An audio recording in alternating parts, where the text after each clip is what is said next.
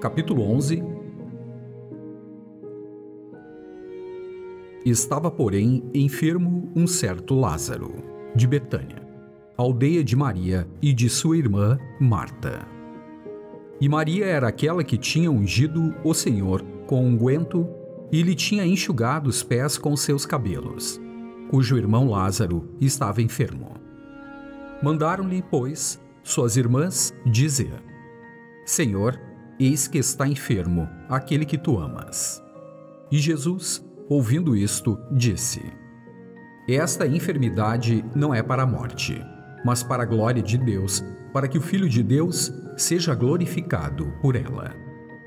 Ora, Jesus amava a Marta e a sua irmã e a Lázaro. Ouvindo, pois, que estava enfermo, ficou ainda dois dias no lugar onde estava. Depois disto, disse aos seus discípulos: Vamos outra vez para a Judéia.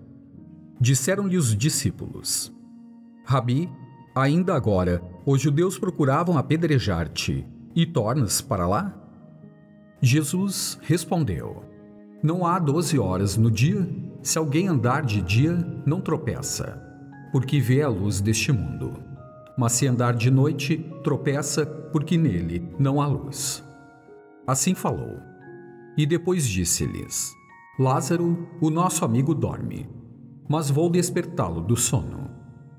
Disseram, pois, os seus discípulos: Senhor, se dorme, estará salvo. Mas Jesus dizia isto da sua morte. Eles, porém, cuidavam que falava do repouso do sono. Então Jesus disse-lhes claramente: Lázaro está morto, e folgo, por amor de vós, de que eu lá não estivesse, para que acrediteis, mas vamos ter com ele. Disse, pois, Tomé, chamado Dídimo, aos condiscípulos: Vamos nós também para morrermos com ele. Chegando, pois, Jesus achou que já havia quatro dias que estava na sepultura. Ora, Betânia distava de Jerusalém quase quinze estádios. E muitos dos judeus tinham ido consolar a Marta e a Maria acerca de seu irmão. Ouvindo, pois, Marta que Jesus vinha, saiu-lhe ao encontro. Maria, porém, ficou assentada em casa. Disse, pois, Marta a Jesus: Senhor, se tu estivesses aqui, meu irmão não teria morrido. Mas também agora sei que tudo quanto pedires a Deus, Deus te concederá. Disse-lhe Jesus: Teu irmão há de ressuscitar. Disse-lhe Marta: Eu sei que há de ressuscitar na ressurreição do último dia. Disse-lhe Jesus: Eu sou a ressurreição e a vida. Quem crê em mim, ainda que esteja morto, viverá. E todo aquele que vive e crê em mim nunca morrerá. Crês tu isto? Disse-lhe ela: Sim, Senhor. Creio que tu és o Cristo, o Filho de Deus, que havia de vir ao mundo. E dito isto, partiu e chamou em segredo a Maria, sua irmã, dizendo: O Mestre está cá e chama-te. Ela, ouvindo isto, levantou-se logo e foi ter com ele. Pois Jesus ainda não tinha chegado à aldeia, mas estava no lugar onde Marta o encontrara.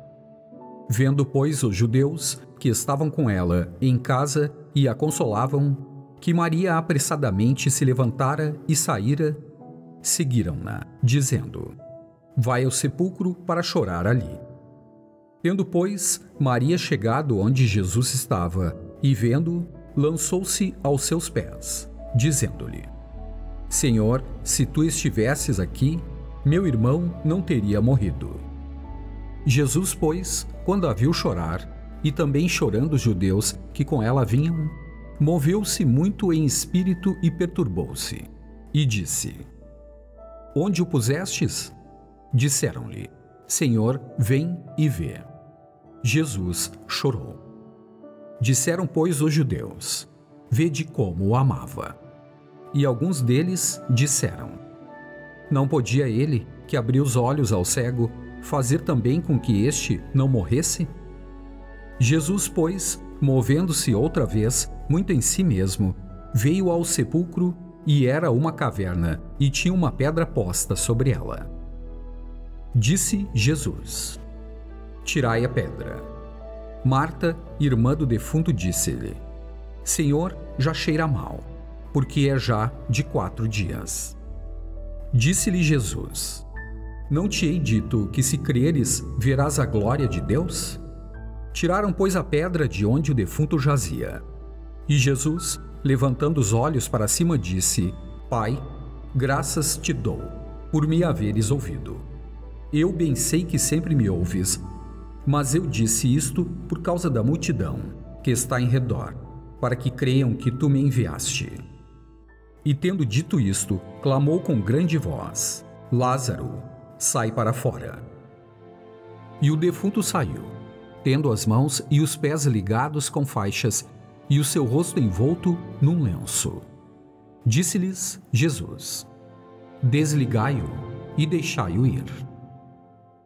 Muitos, pois, dentre os judeus que tinham vindo a Maria e que tinham visto o que Jesus fizera, creram nele.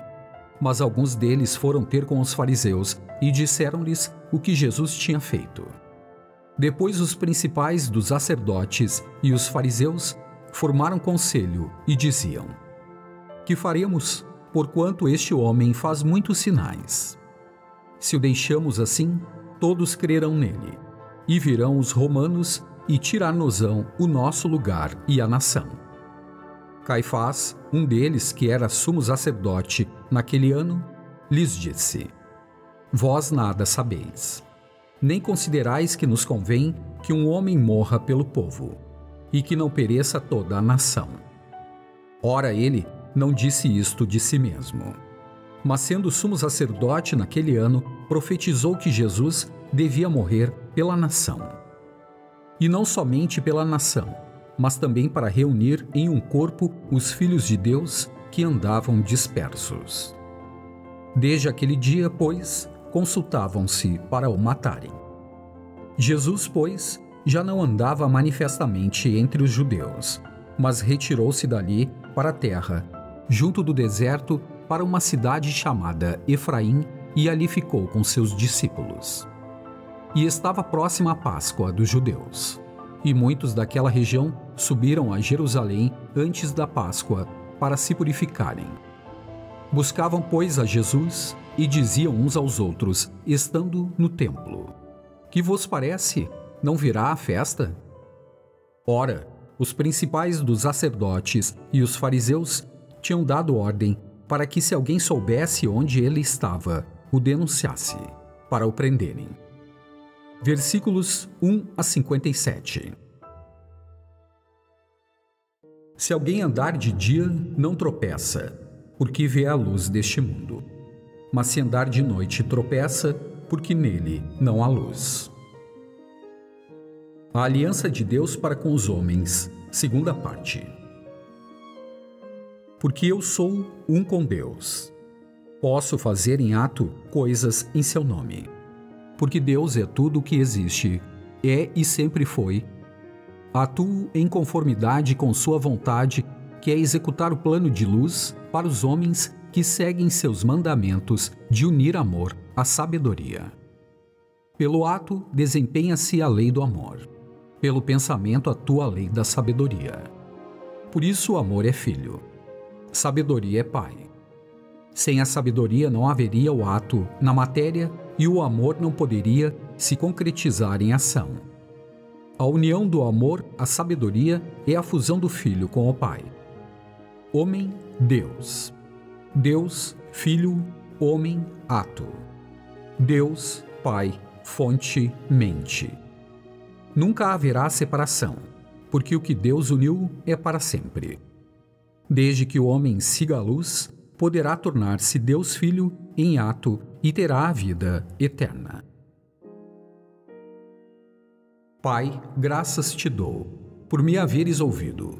Eu bem sei que sempre me ouves, mas eu disse isto por causa da multidão que está em redor, para que creiam que tu me enviaste. E tendo dito isto, clamou com grande voz: Lázaro, sai para fora. E o defunto saiu, tendo as mãos e os pés ligados com faixas e o seu rosto envolto num lenço. Disse-lhes Jesus: Desligai-o e deixai-o ir. E o Lázaro foi redivivo na carne, porque já vivia em unicidade com Deus Pai. Jesus, portanto, pôde fazer seu retorno ao mundo das formas, porque seu espírito já era amor, manifestado. E sendo amor, tem vida eternamente, porque assim é o homem unificado ao Espírito Pai.